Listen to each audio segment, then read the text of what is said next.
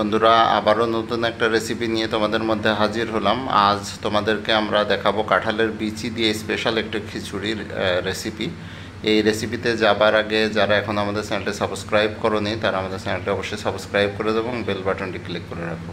তোমরা দেখছ এখানে আমরা মোটামুটি দুইজনের জন্য রান্নার প্রিপারেশন নিচ্ছি। সেখানে এক পট চাউল এবং আধা পট ডাল এখানে আমরা ভালো করে ধুয়ে নিয়েছি।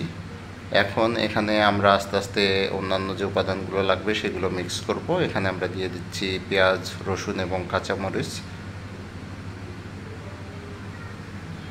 এখানে দিয়ে দিচ্ছি কাঁঠালের বিচিগুলো। কেটে রাখা আগে থেকেই চুলে এবং কেটে রেখেছি আমরা। সেই বিচিগুলো এখানে দিয়ে দিলাম। এখানে আমরা এখন দিয়ে দিচ্ছি পরিমাণ মতো লবণ।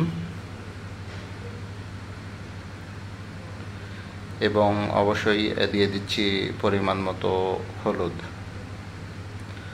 আর আজকের রান্নায় আমরা মূলত সরিষার তেল ইউজ করব।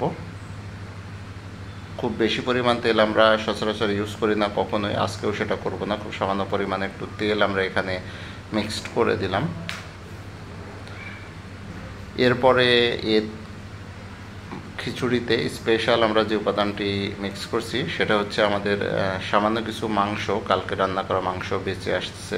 তার থেকে চার পাঁচ টুকরা মাংস বেঁচে আসছে সেটা আমরা খিচুড়িতে দিয়ে দিচ্ছি। এটা খিচুড়িতে দেওয়াটা ম্যান্ডেটরি নাই। যদি কেউ দিতে চান, দিতে পারেন। না দিলেও কোনো প্রবলেম নাই। যাই হোক, চার পাঁচ টুকরা মাংস ছিল, সেটা আমরা খিচুড়িতে দিয়ে ভালো করে এটা মিক্স করে নিচ্ছি। আর আজকে পুরা যে প্রসেসটি প্রসেসটি রান্নার ফুল প্রসেসটি আমরা আপনাদেরকে রাইস কুকারে করে দেখাবো। এগুলো ভালো মতো মিক্স করে আমরা এখন পরিমাণ মতো পানি এখানে মিক্স করে দিব। আপনারা জানেন যে আমরা মোটামুটি এক পট চাউল এখানে দিয়েছিলাম, তার জন্য আমাদের দুই পট পরিমাণ পানি এখানে আমাদের লাগবে। আর পানিটা দেবার পরে আমরা এটা রাইস কুকারে উঠিয়ে দিচ্ছি। যতটুকু চাল, তার ডবল পানি দিয়ে আমরা মূলত রাইস কুকারে রান্না করে থাকি। সেই অনুসারেই আজকে আমরা পানি এখানে মিক্সড করে আপনারা দেখছেন, আমরা কুক করতে দিয়ে দিলাম। এটা মোটামুটি পাঁচ থেকে সাত মিনিট সময় লাগছে কুক হইতে। এখানে আপনারা যেটা দেখছেন, এটা মোটামুটি রান্না হয়ে গেছে। আরও হয়তো এক মিনিট মতো আমাদের যে পানিটা, হালকা পানিটা আছে, এই পানিটা টানতে সময় লাগবে। তাহলে আমরা আবার কুকে দিয়ে দিচ্ছি। আশা করি এক মিনিটের মধ্যে আমাদের রান্নাটি শেষ হয়ে যাবে।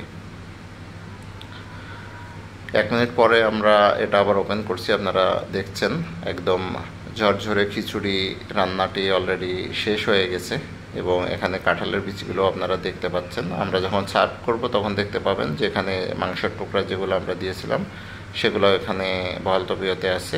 যাই হোক, আমাদের রান্নাটি শেষ। তাহলে চলুন আপনাদেরকে একটু সার্ভ করে দেখাই যে খিচুড়ির কী অবস্থা হয়েছে।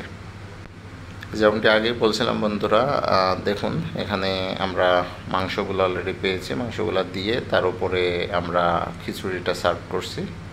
অসম্ভব ঝুরঝুরে এবং খুব টেস্টি এই খিচুড়িটি অবশ্যই বাসায় চেষ্টা করে দেখবেন। ভালো লাগলে অবশ্যই বন্ধুদের সাথে শেয়ার করবেন।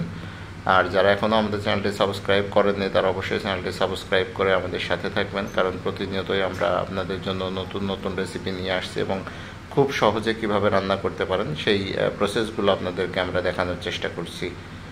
তাহলে অবশ্যই সাবস্ক্রাইব করে আমাদের সাথে থাকুন, বেল বাটনটি ক্লিক করে রাখুন। আমরা খুব শীঘ্রই আবার নতুন একটা রেসিপি নিয়ে আপনাদের মধ্যে হাজির হব।